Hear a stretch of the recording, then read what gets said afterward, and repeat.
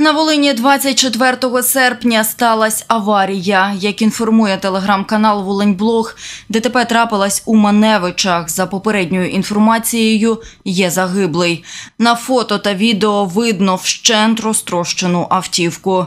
Нині на місці події працює поліція. Деталі згодом.